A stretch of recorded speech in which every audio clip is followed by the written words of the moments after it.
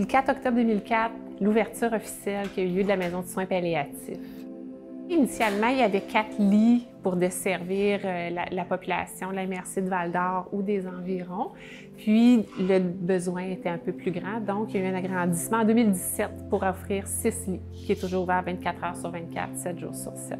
Les six chambres très prioritaires, on l'a vu, on l'a plus belle vue. On l'a vu sur la rivière, sur les canards, sur la source, je devrais dire. Donc, c'est très paisible pour eux. On essaye vraiment de, rendre euh, l'aspect des chambres le plus familial possible, que les gens se sentent chez eux.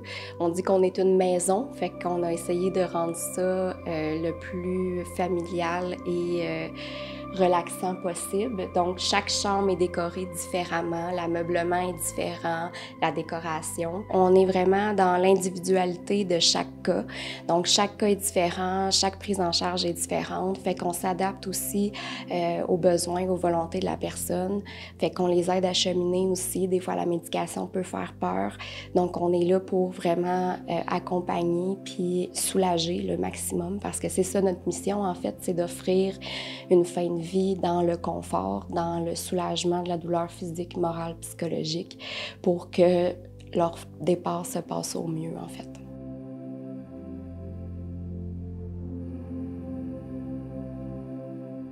La vie, c'est la vie jusqu'au bout avec, euh, oui, son bagage d'émotions. Hein, euh, on a des fois des... Euh, des, familles où c'est plus difficile, où il y a des résolutions de conflits. Euh, des fois, on essaie de permettre euh, des désirs ou des projets qui n'ont pas été bouclés ou euh, des désirs inassouvis dans la mesure du possible, des capacités du, patient et, des proches également. Il y a de tout. Il y a de la fête, il y a des rires, il y a, il y a des pleurs, il y a de la colère. c'est la vie dans son entièreté, quoi. C'est un endroit où il y a beaucoup de reconnaissance, beaucoup de respect de part et d'autre de tout ce qui se fait. Non, c'est vraiment un endroit calme. Souvent, c'est ce qu'on se fait dire.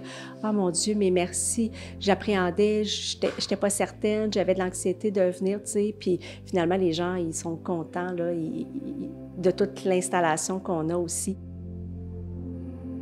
beaucoup, beaucoup, beaucoup de gratitude. Les gens sont extrêmement reconnaissants de tout l'accompagnement, les soins qu'ils reçoivent, le confort, le bien-être aussi, ce que la maison dégage.